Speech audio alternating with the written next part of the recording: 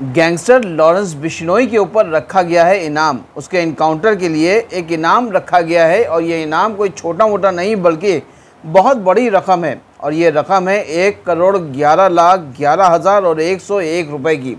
और ये इनाम रखा है क्षत्रिय करनी सेना के प्रेसिडेंट राज शेखावत ने।